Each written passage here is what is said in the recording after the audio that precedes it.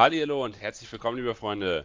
Ähm, wir von Jump In Games, der Alex und der Jan. Hallo. Alex sagt Hallo, genau.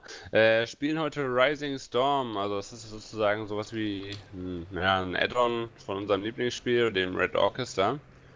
Und nur mit dem Unterschied, dass wir hier nicht, äh, zwar auch im Zweiten Weltkrieg, aber dass wir hier nicht ähm, Ostfront spielen, also Deutsche gegen. Ah, Mist, jetzt bin ich bei Japanern. Moment. Russen. Ah, scheiß Zeug. Mir ist bei Japanern egal. Ähm, dass äh, man hier nicht Deutsche und Russen spielt, sondern Amerikaner und Japaner. Genau. Pazifik.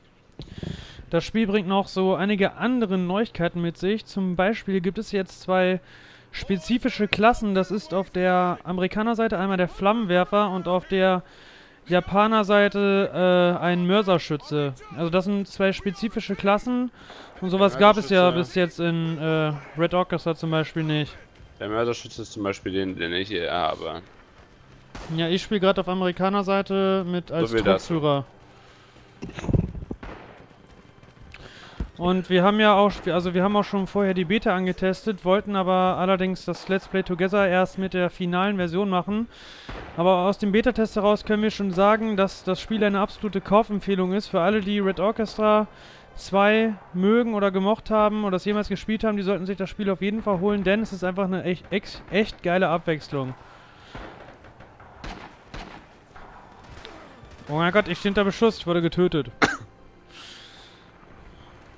Also wie gesagt, wenn man halt von den Schlachtfeldern, von den grauen Schlachtfeldern der europäischen Ostfront genug hat, dann ist das hier echt die perfekte Abwechslung, weil also Tripwire Interactive hätte ja zum Beispiel auch das Szenario der europäischen Westfront angehen können. Äh, also Amerikaner gegen Deutsche.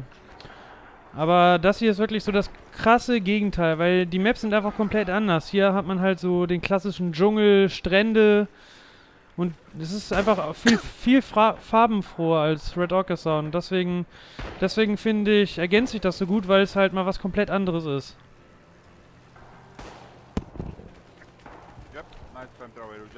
Und das Spiel ist übrigens auch zu einem fairen Preis zu haben. Also wir haben jetzt glaube ich, wie viel haben wir bezahlt, Jan? Jan? Ja, Entschuldigung, mein Mikro war deaktiviert, weil ich wieder husten musste. So. Ähm, 14 Euro habe ich, glaube ich, bezahlt. Ja. Also das war so eine Aktion, äh, die ist jetzt leider ausgelaufen, die war noch bis zum 30. Mai, aber das Spiel ist trotzdem, für den Umfang, den man hier hatten, für diese Atmosphäre, ist das trotzdem echt zu einem fairen Preis zu haben. Ich glaube, das kostet irgendwie in der Deluxe-Version 20 Euro, wenn nicht sogar weniger, glaube ich. Hm. Also, Stockduck killt mich die ganze Zeit. Nee, aber das Spiel, es macht echt Laune und ihr seht es ja jetzt hier. Guys, we can, we can take B, go far right. What's up with the team killers, guys? Ja, ja.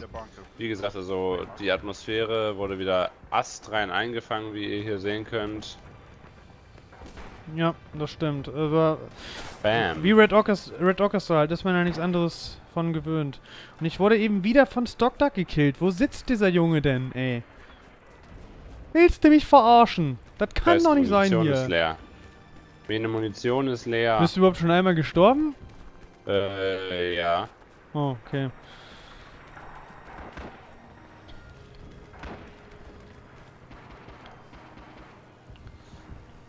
Was ist das denn?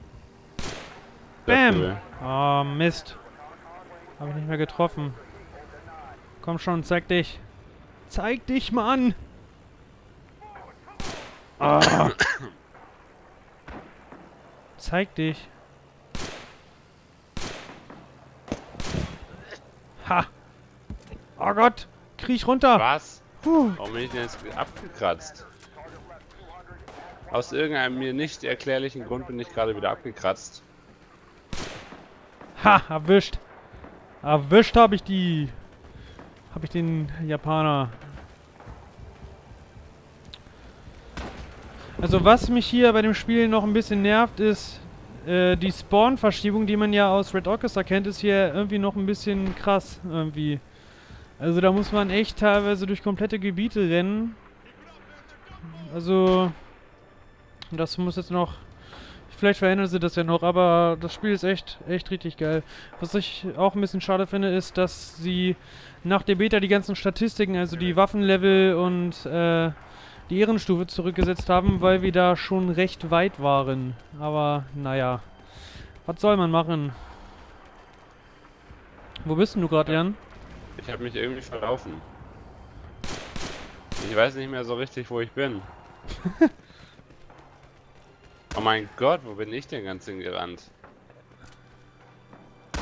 Shit. War gerade etwas auf Abwägen.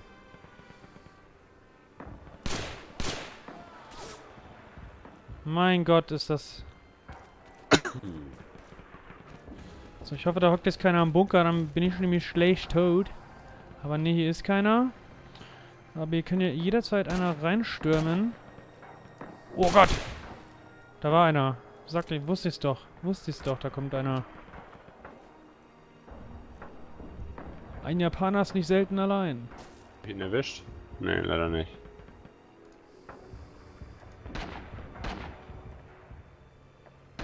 Oh Gott, ich kann mich nicht bewegen.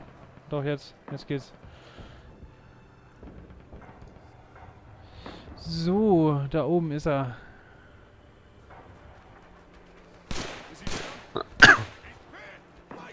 Erwischt habe ich ihn. Uh, da ist gerade eine Granate direkt vor mir explodiert. Das hat mich zum Glück nicht erwischt. Wow! Wow! Krank! Ey, da, Leu da bin ich gerade zu diesem Bunker gelaufen und direkt vor mir kommt auf einmal ein Japaner raus, ey. Tja. Die sind Alter. überall. Ja, echt. Sie sitzen in den Bäumen, ne? No. Wenn wir in den Bäumen sitzen, sitzen die auf den Baumkronen. Ach doch, jetzt geht's wieder. ah, jetzt. Ach, stimmt. Was auch noch zu erwähnen ist, als Japaner hat man noch die nette, äh, ja, wie soll man es nennen? Ich nenne es jetzt einfach mal Spezialfähigkeit, dass man seine Granaten auch äh, im Boden irgendwie vergraben kann als Tretmine. Und da bin ich jetzt eben zum Beispiel in eine Mine reinge, also in so eine Granate reingelaufen, die hat mich dann halt erledigt. Das ist auch noch eine Also schon going in ganz nettes Feature, muss ich Ja. sagen. Weißt du eigentlich, wie das geht, Jan? Äh. Ich spiele ja eher ungern Japaner. Ja, also ich, ich habe die ja in der Beta öfters gespielt, aber ich habe trotzdem irgendwie noch nicht rausgefunden, wie das funktioniert. Müsste man direkt mal nachschauen nachher. Ja. Das müsste man wohl. Hä? Was ist denn jetzt los? Achso.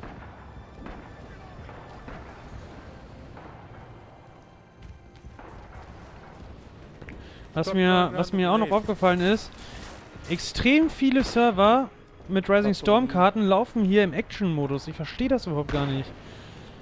Ich meine, das Spiel wird doch erst so richtig geil, wenn man es auf, wenn man es im Real, im, wenn man es auf Realismus spielt.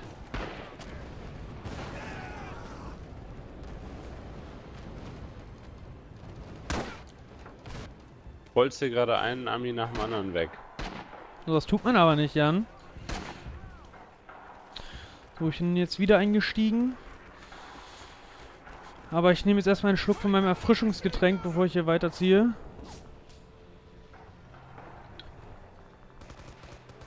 Man muss ja bei Kräften bleiben in diesen harten Zeiten. Gut, Junge. Hab ich ihn erwischt? So. Hab ich ihn nicht erwischt. Wo sind sie? Und, oh, Kacke, hier ist irgendeiner. Hier ist irgendwas im Busch. Ah, verdammt! Verdammt, da sitzt er oben mit einem MG. Ich habe ihn zwar noch gesehen, aber da hat er mich schon im Visier und hat mich dann eiskalt erledigt. Ha! So gefällt mir das natürlich Kerl. nicht, doch. Sorry. Alex. Oh, scheiße. Ich weiß, habe ich gehört. Ja, als Japaner muss man auf die Flammenwerfer-Typen immer aufpassen, weil wenn die zu nah dran sind, dann war es das eigentlich schon. Also, ich habe ja, ich habe auch schon mal mit dem Flammenwerfer gespielt und da habe ich auch schon mal so, so fünf Gegner auf einmal erledigt, weil wenn du da im gegnerischen Lager bist, holst du einfach alles weg mit dem Teil. Mhm.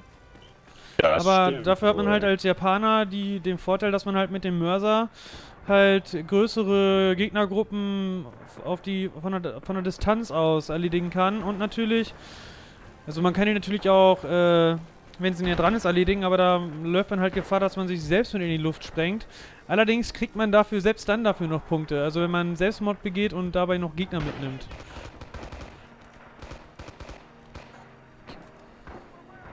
Da war doch gerade einer. Ah, verdammt! Oh Gott! Beschuss! Beschuss! Rückzug!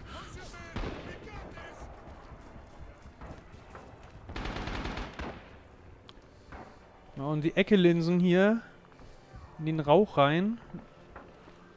Das gefällt mir ja gar nicht hier. Das gefällt mir überhaupt nicht da. Überhaupt nicht. Überhaupt nicht. Oh, so was aber auch. So was aber auch. Oh Gott! Japaner! Japaner! Ich versuche mal einen Blick zu erspähen.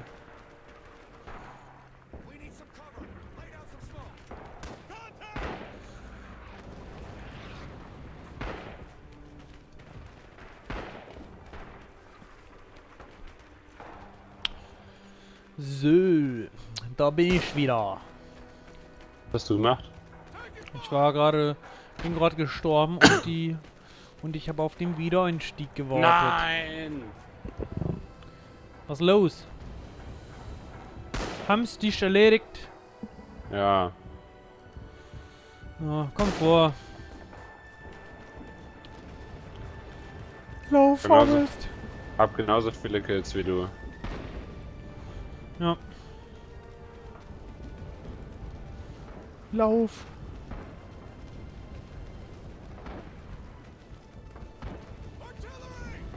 Gott, ich habe kein gutes Gefühl hierbei. Ich bin jetzt quasi schon fast hinter der feindlichen Linie, Oh mein Gott, wo kamen die denn jetzt schon wieder her? aber ich komm. Oh, Kacke. Oh, Kacke. Oh, Kacke, Mann. Verdammt. Verdammte Scheiße. Oh, cool. Ich nehme jetzt mal einen Flammenwerfer.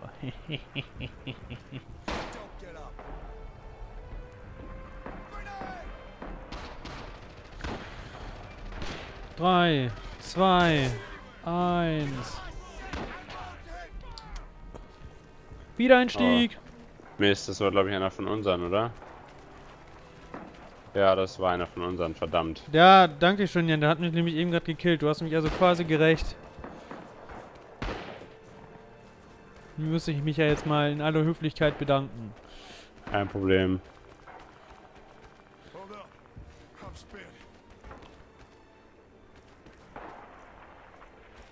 Kommt raus, Herr Pan, der Grillmeister ist da. Victory. You Nein, wir haben verloren. Victory! Alter, wie dumm seid ihr eigentlich? Das ist die einfachste Map zu defenden, ehrlich. Was war das denn eben? Der Typ, der im Imgame-Chat. Alter, wie dumm seid ihr eigentlich? Alter. Hast du es nicht gehört? Mhm. Lordex war das, den du gekillt hast. Er meinte wahrscheinlich dich. Ja, das kann sein. So, Alter, wie dumm seid ihr eigentlich? Ach. Mensch, Leute, ist doch nur ein Spiel hier. Das ist doch nur ein Spiel. So, ich, äh, oh, cool. MG-Schütze.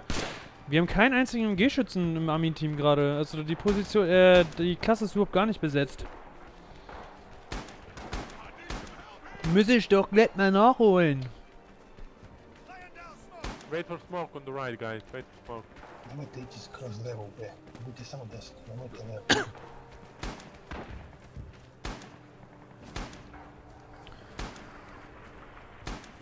Volle Konzentration.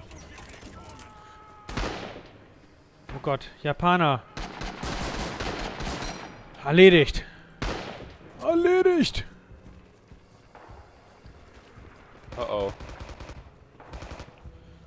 Jederzeit könnte ein Gegner um die Ecke kommen. Dein Leben, ist perma dein Leben ist permanent in Gefahr. Brutal. Wurde von einem orbitalen Bombardement erschlagen. Schön, schön. Ich werde mich jetzt mal versuchen, mich hier taktisch irgendwie zu platzieren mit meinem MG. Ah, krabbel wieder rein. Reihenweise abgeschlachtet werde ich hier. Wie, wie so richtig typisch Japaner-mäßig, weißt du? Und ist damals. Hm.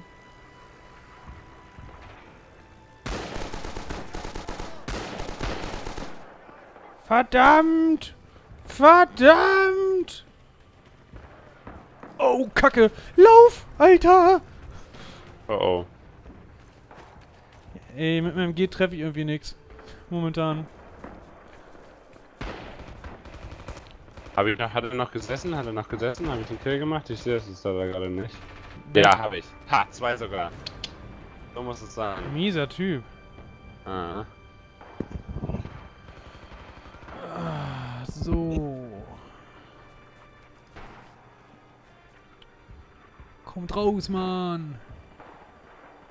Jetzt sowieso alles verloren. Ich glaube, ich liege ein bisschen ungünstig, aber... Wait Train! Nein. Dieser Lordex. Wo ist denn der? Ah, 10 Ja, Kills, so gut. Da, das, Der war der, So, das war der, der eben Ja, so ich weiß. ausgerastet ist. ich weiß, der ist gar nicht so gut oder so. Der muss sich gar nicht aufregen. Der hat gerade mal einen Kill mehr als ich. Ja, vor allem, Alter, das ist nur ein Spiel, ey. Ich weiß gar nicht, wie man sich das so auf... Ich meine, ich reg mich auch auf, wenn ich jetzt sterbe oder so, aber... Dass man da öffentlich irgendwie so rumschnauzen muss hier im Sprachchat, das geht ja gar nicht. Ist uncool, ja.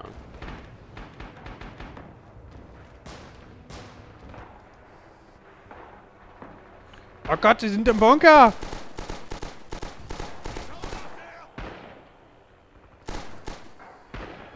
Oh Kacke, habe ich meinen eigenen Typen erledigt? Oh Gott! Ich glaube, nein, ich war es nicht. Ich bin unschuldig! Ey Mann, das MG nervt mich gerade hier irgendwie. Ich krieg überhaupt nichts vor die Flinte. Man oh, ist so scheiße. unbeweglich mit dem Ding. Was ist los? Der Flammenwerfer-Typ steht hier direkt vor mir.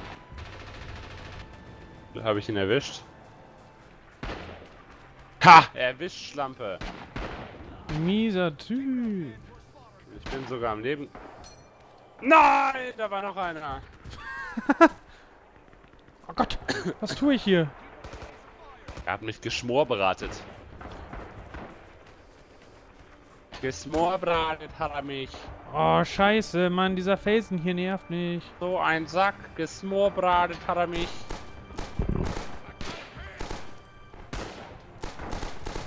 Geschmorberatet.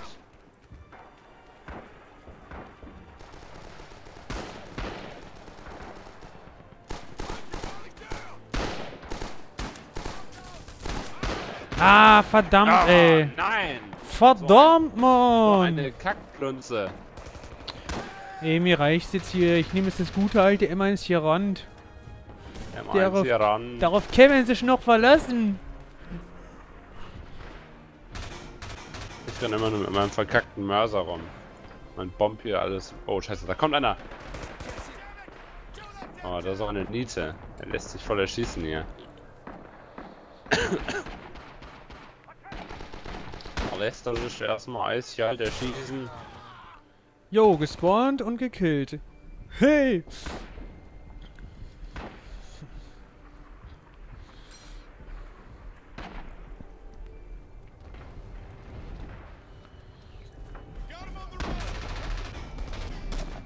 Gott, wo bin ich? Was soll ich tun? Oh mein Gott, ich bin mitten im feindlichen Lager. Warum? Wieso? Weshalb?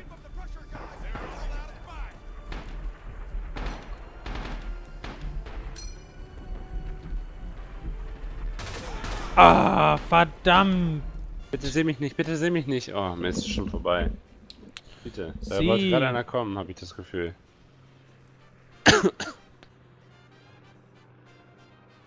ja, das war sozusagen unser Eindruck, euch Red Orchestra Rising Storm, besser gesagt, zu zeigen. Genau, davon wird auf jeden Fall noch mehr kommen und natürlich weitere Videos von Red Orchestra 2. Genau, und wir hoffen, es hat euch gefallen. Also uns gefällt dieses Spiel sehr. Und ja, wie gesagt, das ist eine gelungene Abwechslung und ich hoffe, es hat euch auch gefallen, sozusagen als Abwechslung zu Red Orchestra und hoffe, äh, ihr spielt es auch mal. Wenn ihr spielt, lasst mal einen Kommentar da, dann kann man ja mal zusammenspielen oder so. Ähm, ja, und dann bis zum nächsten Mal. Ciao. Bis alle.